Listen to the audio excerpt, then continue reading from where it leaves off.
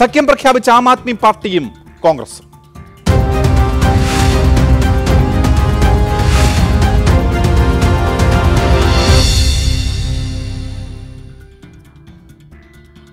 ലോക്സഭാ തെരഞ്ഞെടുപ്പിൽ സഖ്യം പ്രഖ്യാപിച്ച് കോൺഗ്രസും ആം ആദ്മി പാർട്ടിയും ദില്ലി ഉൾപ്പെടെ അഞ്ചിടങ്ങളിൽ ഒന്നിച്ച് മത്സരിക്കാനാണ് ഇന്ന് പ്രഖ്യാപനം വന്നിരിക്കുന്നത്. ഏഴ് സീറ്റുള്ള ദില്ലിയിൽ നാലിടത്ത് ആം ആദ്മി പാർട്ടിയും മൂന്ന് സീറ്റിൽ കോൺഗ്രസും മത്സരിക്കും. ഹരിയാനയിൽ ഒരു സീറ്റ് ആം ആദ്മി പാർട്ടിക്ക് നൽകി. പത്ത് സീറ്റാണ് ഹരിയാനയിലുള്ളത്. ഇരുപത്തിയാറ് സീറ്റുകളുള്ള ഗുജറാത്തിൽ ഇരുപത്തിനാലിടത്ത് കോൺഗ്രസ് മത്സരിക്കും രണ്ടിടത്ത് ആം ആദ്മി പാർട്ടി മത്സരിക്കും. അന്തരിച്ച കോൺഗ്രസ് നേതാവ് അഹമ്മദ് പട്ടേലിന്റെ കുടുംബത്തിന്റെ എതിർപ്പ് മറികടന്ന് ഭറൂച്ച് സീറ്റ് ആം ആദ്മി പാർട്ടിക്ക് കോൺഗ്രസ് നൽകിയിരിക്കുകയാണ്. അതേസമയം സംസ്ഥാന ഘടകങ്ങളുടെ എതിർപ്പിനെ തുടർന്ന് പഞ്ചാബിൽ ഒറ്റയ്ക്ക് മത്സരിക്കാൻ ഇരു പാർട്ടികളും തീരുമാനിച്ചു.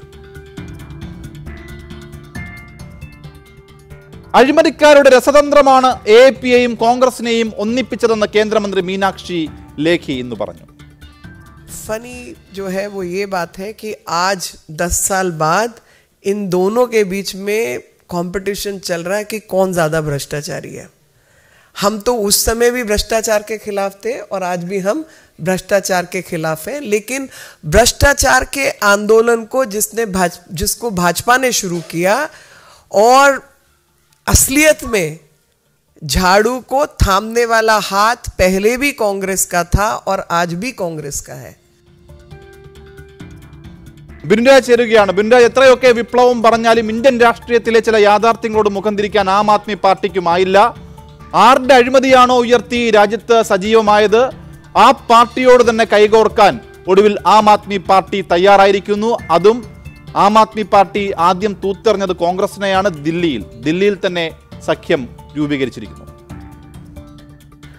അനൂപ് അങ്ങനെ ദില്ലിയിലും ഗുജറാത്തിലും ഹരിയാനയിലും ചണ്ഡീഗഡിലും ഗോവയിലും ആം ആദ്മി പാർട്ടി കോൺഗ്രസ് സഖ്യം നിലവിൽ വന്നിരിക്കുകയാണ്. ഇരു പാർട്ടികളുടെയും നേതൃത്വം ആഴ്ചകളോളം നടത്തിയ ചർച്ചകൾക്കൊടുവിലാണ് ദില്ലി അടക്കം അഞ്ചിടങ്ങളിൽ സഖ്യചിത്രം തെളിഞ്ഞത്. ദില്ലിയിലെ ഏഴ് മണ്ഡലങ്ങളിൽ നാലിടത്ത് ആം ആദ്മി പാർട്ടിയും മൂന്നിടത്ത് കോൺഗ്രസും മത്സരിക്കാനാണ് തീരുമാനം. ഈ ഏഴ് മണ്ഡലങ്ങളും നിലവിൽ ബി ജെ പിയുടെ കയ്യിലാണ്. ദില്ലി നിയമസഭയിൽ ഈ മണ്ഡലങ്ങളിലെല്ലാം ആപ്പിന് വ്യക്തമായ മുൻകൈ ഉണ്ടെങ്കിലും കഴിഞ്ഞ ലോക്സഭാ തെരഞ്ഞെടുപ്പിൽ ബി ജെ പിക്കൊപ്പം നിൽക്കുകയായിരുന്നു. അതുപോലെ ഗുജറാത്തിൽ ഇരുപത്തിയാറിൽ ഇരുപത്തിനാലിടത്ത് കോൺഗ്രസ് മത്സരിക്കുമ്പോൾ രണ്ട് മണ്ഡലങ്ങൾ ഭറൂച്ചും ഭാവ്നഗറും ആം ആദ്മി പാർട്ടിക്ക് കോൺഗ്രസ് നൽകിയിരിക്കുകയാണ്. ഈ രണ്ട് മണ്ഡലങ്ങൾ ഉൾപ്പെടെ കഴിഞ്ഞ ലോക്സഭാ തെരഞ്ഞെടുപ്പിൽ ഇരുപത്തിയാറ് മണ്ഡലങ്ങളും ബി ജെ പി തൂത്തുവാരുകയായിരുന്നു. എന്നാൽ പരമ്പരാഗതമായി ബറൂച്ച് സീറ്റിൽ കോൺഗ്രസ് ആയിരുന്നു മത്സരിച്ചതെന്ന് വ്യക്തമാക്കി അന്തരിച്ച നേതാവ് അഹമ്മദ് പട്ടേലിന്റെ മകൾ മത്സരത്തിന് തയ്യാറെടുത്തിരുന്നു. അഹമ്മദ് പട്ടേലിന്റെ കുടുംബത്തിന്റെ പരിഭവം അവഗണിച്ച സീറ്റ് ആപ്പിന് വിട്ടു നൽകാൻ കോൺഗ്രസ് തീരുമാനിക്കുകയായിരുന്നു.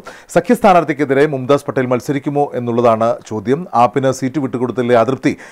സഖ്യപ്രഖ്യാപനത്തിന് ശേഷവും മുംതാസ് പട്ടേൽ അറിയിച്ചു കഴിഞ്ഞു. ഹരിയാനയിലേക്ക് വന്നു കഴിഞ്ഞാൽ പത്തിൽ കുരുക്ഷേത്ര സീറ്റ് ആപ്പിന് കോൺഗ്രസ് നൽകി. അവിടെയും നിലവിൽ എല്ലാ സീറ്റുകളും ബി ജെ പിയുടെ കയ്യിലാണ്.